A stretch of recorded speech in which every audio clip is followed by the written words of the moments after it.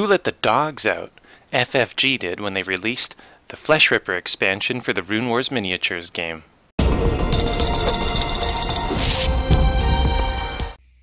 Hello everybody and welcome back to the Battlecast. In today's episode we're going to be doing an unboxing of the Flesh Ripper unit expansion for the Rune Wars Miniatures game. Now if you've seen my other two unboxings for this set of releases, you'll know that these are solid boxes. They're square shaped, unlike the usual rectangle shape, and they're solid, and I love them. So no more about boxes. Flesh Rippers are awesome. Flesh Rippers look amazing. If I had to, you know, compare them to something, I guess I would compare them to the cavalry in other units. They've got three collective health, including the armor, and the other in you know other cavalries have similar. Uh, the Death Knights have three, and the Daqan, I believe, have two. So yeah, about you know they're cavalry like. Really amazing artwork on this box. Love the spined and very you know serrated tail. So what do you get in this box? You get four unpainted plastic figures, two movement trays, a command tool, a unit card, five upgrade cards, and six assorted tokens. Let's read about them. Tear the foe to shreds. Very Uthuk. Roving among the vanguard of the Uthuk hordes are the horrific flesh rippers, packs of ravening beasts born from the corruption of the Ru Darklands. With tearing jaws, slashing talons, and ridges of protective bone, these nightmare creatures are more than a match for the cavalry of the other armies. Enemies foolish enough to break and run soon discover their gruesome fate as the flesh rippers hunt prey. That's pretty accurate because these puppies are quick. So, without further ado, let's get into it. So first thing you'll notice that little flimsy insert that used to be in the box to give it structure is gone. So let's lay it all out before us.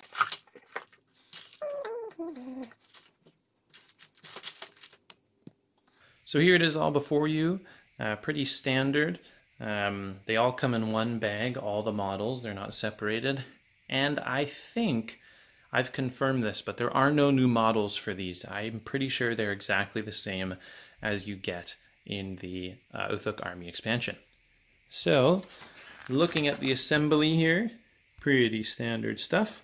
I'll go ahead and assemble and we'll talk about the figures. I do really love me some flesh rippers.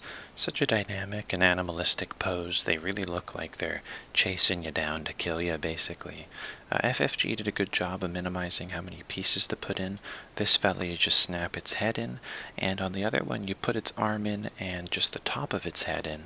There are a lot of mold lines on the back of the legs, on the back of the head, the arms, uh, on the tail. So definitely get out your uh, your knife and polish them up. Um, but they are very nice. Some of my favorite models, uh, they did a good job.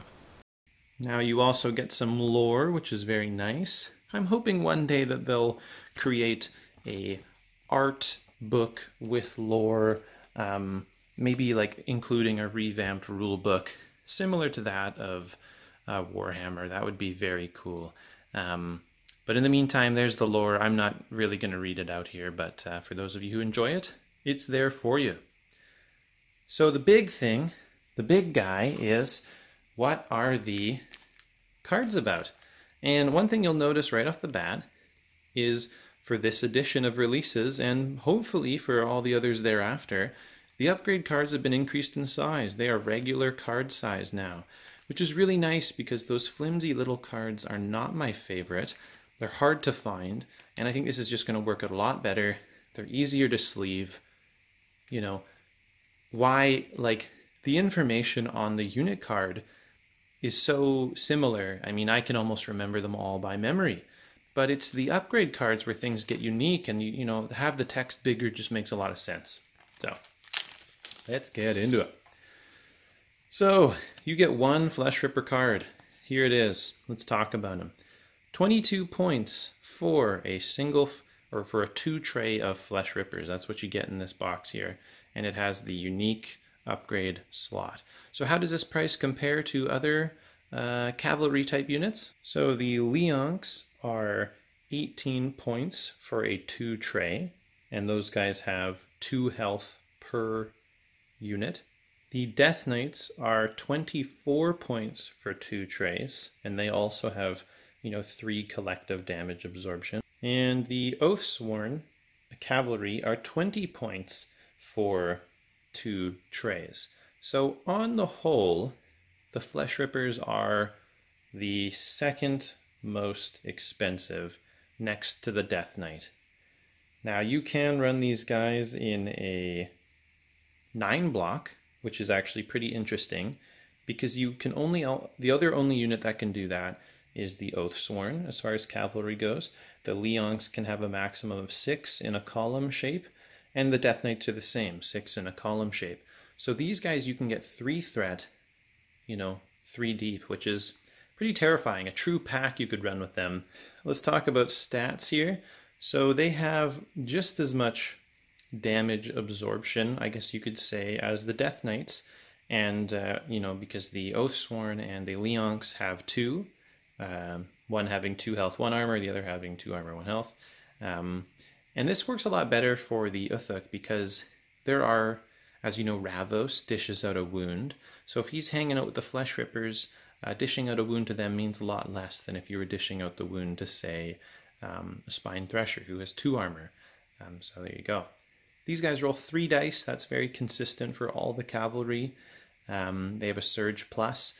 Choose an enemy engaged with you. It suffers damage equal to the number of surges spent, which when you're rolling two blue dice is pretty exceptional. I mean, um, now it is damage equal to.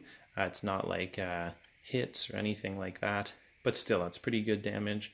Uh, before you reveal your command tool, you must perform a move one. So that's kind of what makes the Flesh Rippers the Flesh Rippers. They get a compulsory movement, which is very cool. Upgrade card time.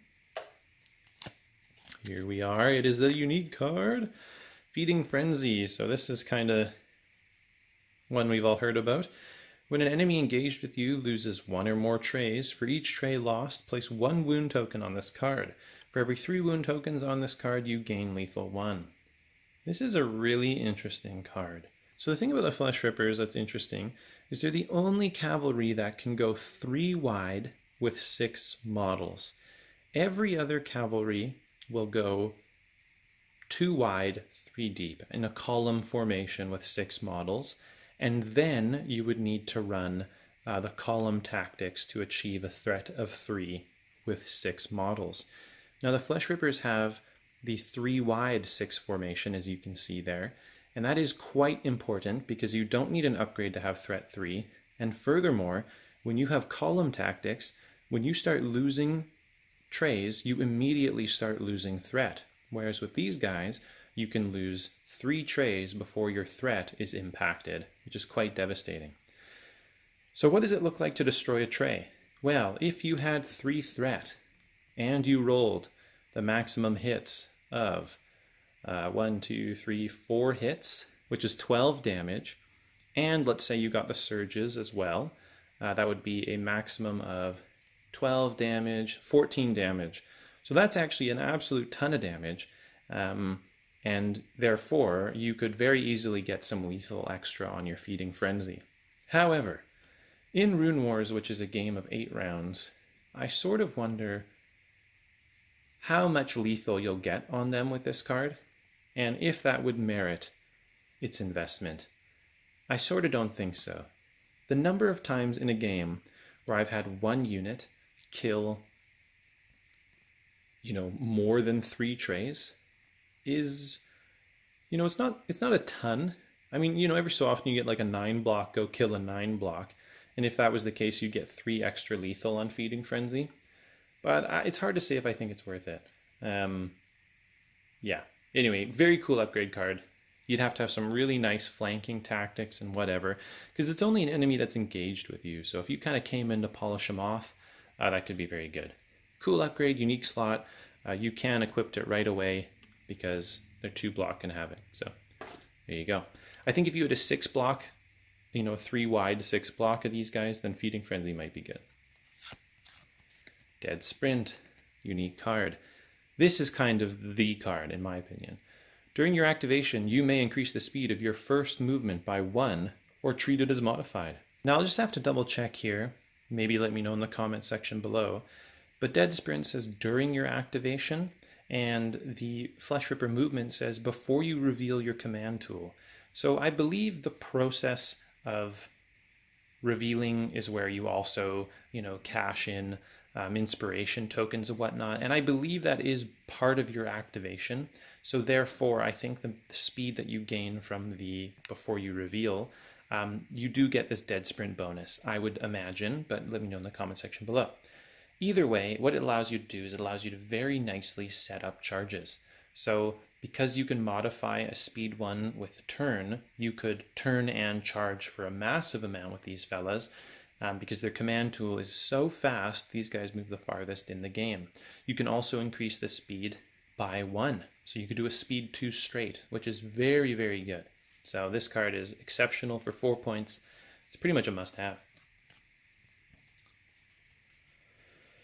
Flank guards, while you're defending, enemies do not do extra, or do not add an extra dice for flanking you.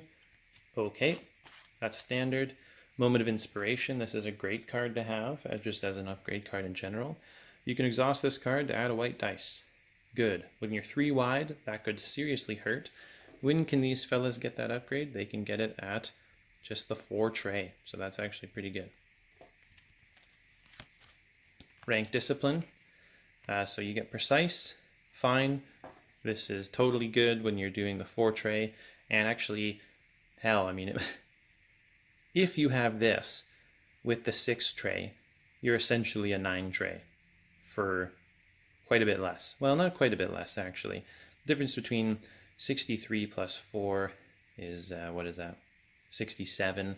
So at that point, you're really only like eight points less than the nine tray here. So hard to say if that's worth it, but you know, if you're trying to pinch points, that might be the way to do it. And then we're back to Feeding Frenzy. So, okay. So we'll go ahead and take a look at the dial now. And um, these puppies move quick. Every cavalry can move three at one.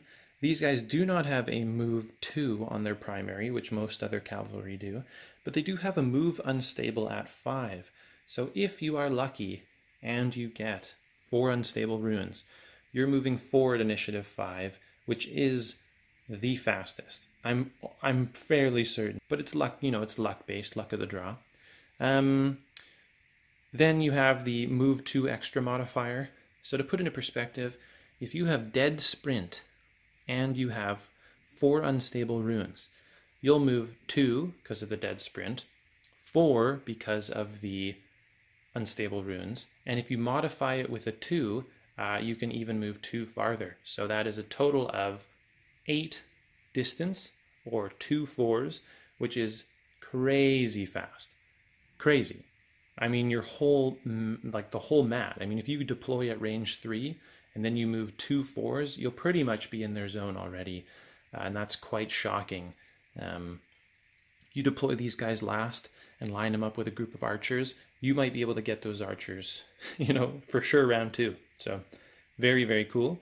They can modify with a panic surge, so that combines well with their, you know, lethal surge plus ability.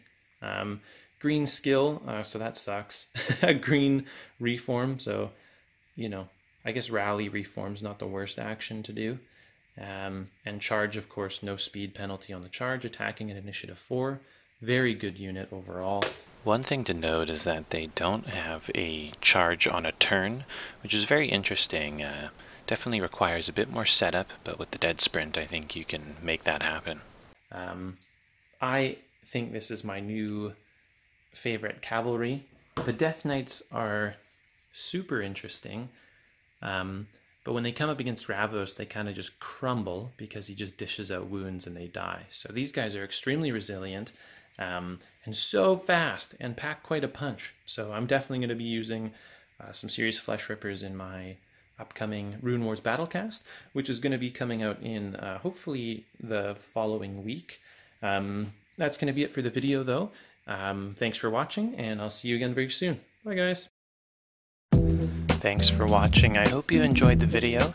Please consider supporting the channel by liking the video, leaving a comment below, or even subscribing to the channel. Until next video, I'll see you then. Thank you.